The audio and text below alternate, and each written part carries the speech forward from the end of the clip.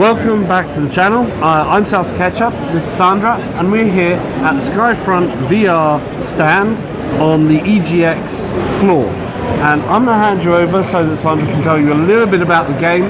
They're just sending someone out to play with now, so you can see on the screen right over there. Right over there, yeah. Over to you.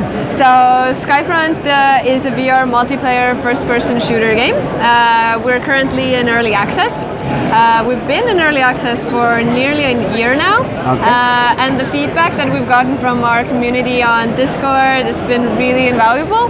So we uh, currently have three maps, three game modes, and before we launch uh, fully on Steam, Viveport, and the Oculus Store, we are also going to add one more map, one more game mode, and customization and progression as well. Okay. And we're going to have Steam workshops, which is going to be really great. 'cause People Okay. will be able to make their own maps. Oh, Uh, nice. yeah, that lives for a lot of creativity in zero gravity, so that's Yeah, going to be yeah. pretty damn awesome.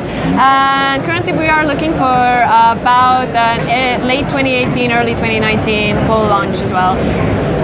Excellent. So at the moment we're uh, Steam, Oculus based for the early act. Uh, Uh, early access at the moment, we, we are, uh, you can play us on the Oculus headset, but we're not available on the On Oculus Steam, Store. so you're on Steam. We're on Steam Store and Viveport Store. at and. Viveport Yeah. Store. So Steam and Vive Point for the early access at the moment.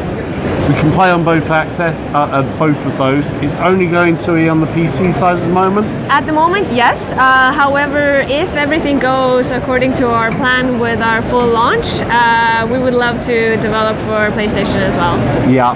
Which a lot of people out there have uh, PSVR, so Yeah, that would be a really great one as Yeah, well. yeah. Uh, it is a good idea as well. Uh, we like the idea of the um, map. We've just seen somebody sticking themselves to a wall there. Uh, So you yeah, can literally you can do grapple, wall yeah. sticks, Yeah. grapple, free locomotion along the walls as well. yeah, yeah. And we've got a zero G PvP environment that's going on here. Um, is it purely multiplayer? Is there also AI, AI bots and solo stuff that you can do? Yeah, there are AI bots, so uh, but that's not not what we're aiming for people to Yeah. actually have play. So we want this game to be a multiplayer. Um, at the moment, the majority of our player base is from the US and Canada. Yeah. Uh, so uh, in Europe, the majority of our players are from uh, VR arcades. Yeah. Uh, and one of the reasons why we're at EGX is to get the word out, kind of branch out to the European end user market Yeah. as well. Yeah. I know quite a few uh, of my audience is American and uh, from Europe and from different places in the world, which is kind of cool. Awesome. Um, it's definitely one I'm going to check out on uh, probably Viveport or something else like that. Yeah. Um, and we'll see how it comes in development. So uh, it's, it's it's what other types of I should say we've got a grappling hook in there. Yeah.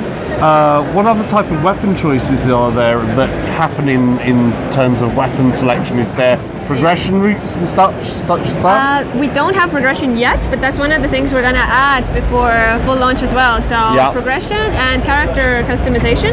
Character Uh, customization. You always want to look your best in VR. Exactly. Come on, who doesn't? You know, right? That's really personally, fun. I like the instant uh, diet yeah, regime. that- that's it's that's really a good. really good ability. Yeah, yeah. Uh, but yeah, we currently we have uh, seven weapons, including the thruster. So the thruster is what helps you move around. It's not a Yeah. weapon per se, so you can't kill other people with it, but it is uh, An an, essential part. Yeah, an essential part of gameplay. Yeah. And we've also got seven uh, special abilities. Uh, one of them is a lethal one. The other are defensive ones. Okay. Uh, so the player has quite a lot of uh, kind of Wide yeah. arsenal uh, at your command. Yeah, what whatever their type of gameplay is.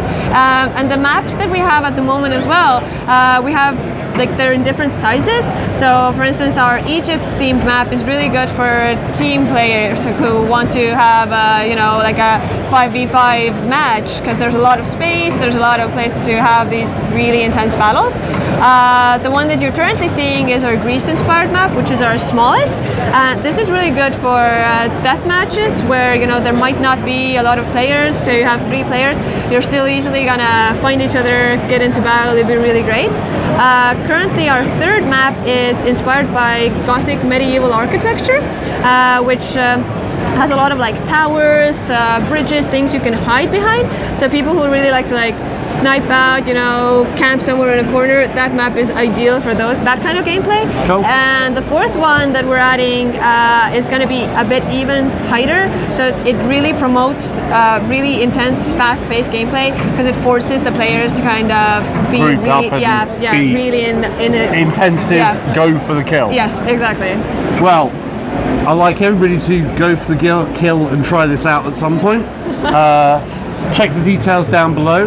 If you haven't subscribed already, the subscription button is somewhere. I don't know where you're looking at the moment because you could be looking anywhere. But check us out, subscribe, and more news to come. Thank you. Bye. Bye bye.